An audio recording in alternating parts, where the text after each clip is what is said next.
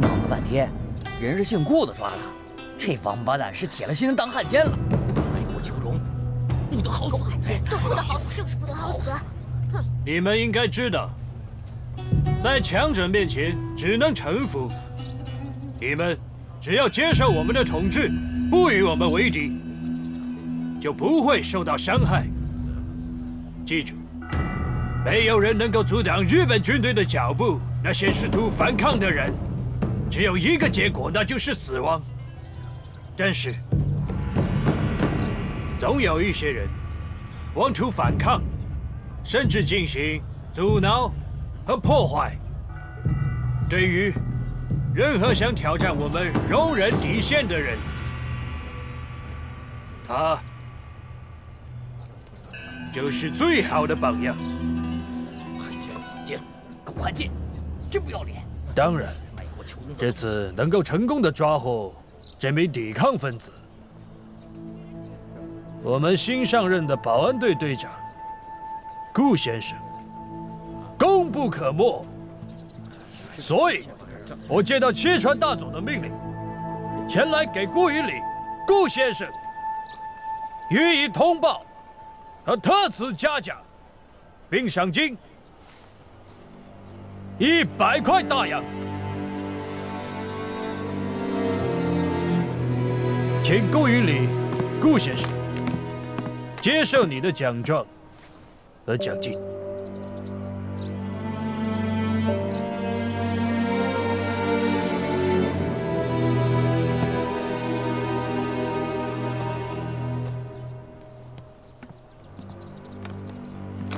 恭喜你，顾先生。多谢太君栽培，狗汉奸！这我怎么就不能正？卖国贼！脸子不要活，好死！这不是戴家大小姐吗？啊，哎，就是他，对呀，对对对，就是她，我认识她。她也不是什么好东西，何属一家？就是卖国贼，一看。什么玩意儿？什么东西？卖国贼！哎，让下，让下！爱国求荣，没事。损阴德，日本人，不是顾先生，遭报应的。太君，早晚遭报应。怎么了？我没事。看守犯人的职责就交给你了，希望你不会让我们失望。谢谢太君对我的信任。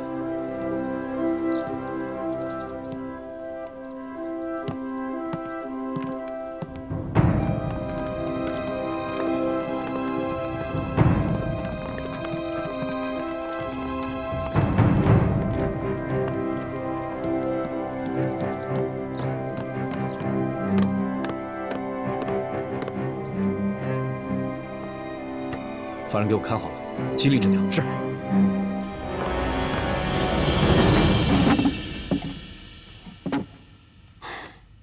对了，鬼子没给你带来麻烦吧？这个你放心，论游击战，这小鬼子还真不是对手。我这次来，除了看看你们的情况，还有苏梅的伤势，还有一件事想跟你商量。你说。南京沦陷，三十万同胞，整整三十万同胞，都被日本人残忍的杀害。可这日本政府，他们不承认这灭绝人性的大屠杀，称这一切都是我们自己捏造。可耻的日本人，真是卑鄙！好在我们的情报人员在南京大屠杀期间。冒死拍下了日军杀害平民老百姓的照片。为了把这些照片交给国际友人，在国际上昭示日本人对我们中国人犯下的滔天罪行，我们的上级指示我们，把这些照片带往上海，秘密交给我们的国际友人。可中间出现了变故。什么变故？是这样，我们的情报人员老曾，作为接头人，秘密前往宫南，计划从宫南水路前往上海。可是呢，这个老曾暴露了，被日本人抓了。然后呢？没有然后了，日本人一直没有新的动作，我们怀疑日本人他们在守株待兔，等我们的情报人员出现。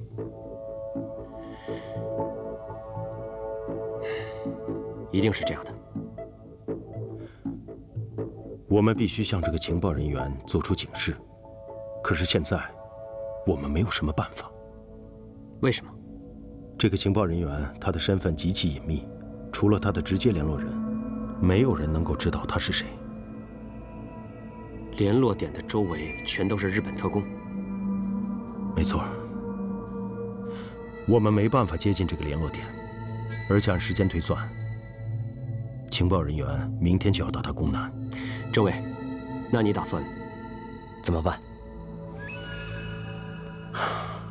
如果实在没有办法，我们只能来硬的了。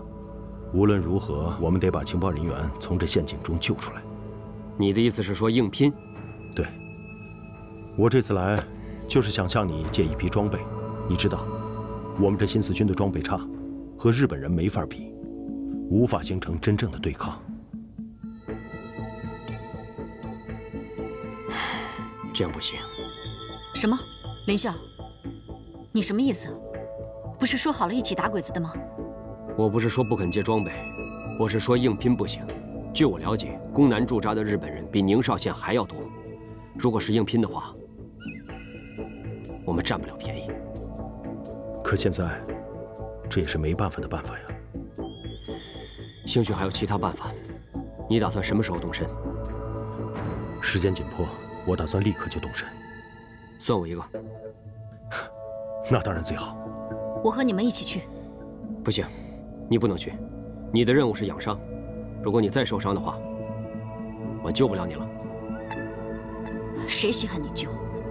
苏梅，林兄说的对，磨刀不误砍柴工，你就好好养伤，以后打鬼子，机会有的是。那就这么定了。既然是深入敌后的话，我想去太多人也不方便，我就带几个我身边的兄弟就行。好，嗯，走吧，走。